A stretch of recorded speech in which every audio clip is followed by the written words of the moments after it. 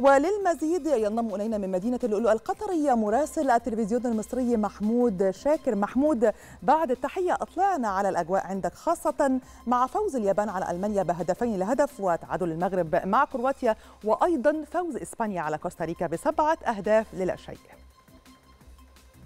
ليك يا شروق تحياتي لجميع مشاهدي القناة الأولى والفضائية المصرية والتلفزيون المصري في كل مكان من هنا من العاصمة القطرية الدوحة تحديدا من مدينة اللؤلؤه إحدى أجمل المدن اللي موجودة في العاصمة القطرية الدوحة. ويوم النهارده كان حافل جدا جدا للمنتخب المغربي اللي بيكمل سلسلة النتائج الجيدة جدا جدا للمنتخبات العربية. طبعا بعد ما شفنا امبارح السعودية بتكسب أداء ولا أروع ولا أجمل مع المنتخب الأرجنتيني وتعادل تونس مع المنتخب الدنماركي القوي. النهارده المنتخب المغربي بيعمل مباراة قوية جدا جدا وبيتعادل مع المنتخب الكرواتي وصيف كأس العالم 2018 كاس العالم اللي فاتت.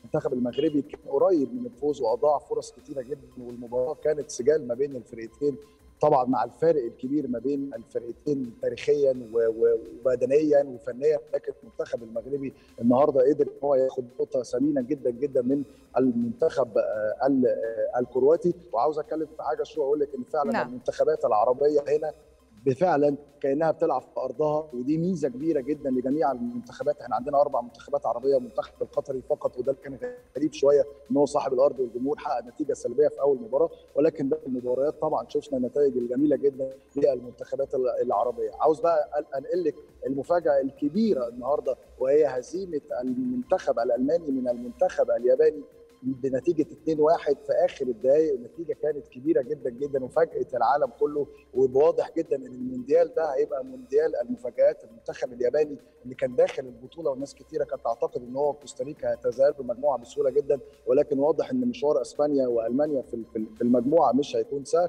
المنتخب الياباني ادى مباراة قوية جدا جدا أمام المنتخب الألماني وقدر يكسب المنتخب الألماني اللي عنده مشاكل كثيره جدا مع هانز فليك برغم إن هانز فليك من أفضل المدربين الموجودين الالمان وشفنا نتائجه الكويسة جدا مع بايرن ميونخ ولكن مع المنتخب الألماني عنده مشاكل كثيره جدا طبعا وده بسبب إن ألمانيا ما عندهاش ال forward الصريح أو الراس الحربه اللي يقدر يخلص نفس الكلام برضو الاثنين المساكين اللي ورا أو الاثنين center back مش بيقدموا أفضل مستوى ليهم بعد عدم انضمام هوملز واحد من أفضل المدافعين التاريخيين للمنتخب الألماني نعم. ولكن عاوز أخش بقى على المنتخب الأسباني والنتيجه نعم. الكبيرة جدا جدا سبعة صفر بيغلب المنتخب الكوستاريكي اللي واضح فعلا إن هو هيكون حصالة المجموعة. المنتخب الأسباني بأداء قوي جدا جدا من لويس إنريكي المدرب الكبير في أسبانيا والمدرب التاريخي لبرشلونة.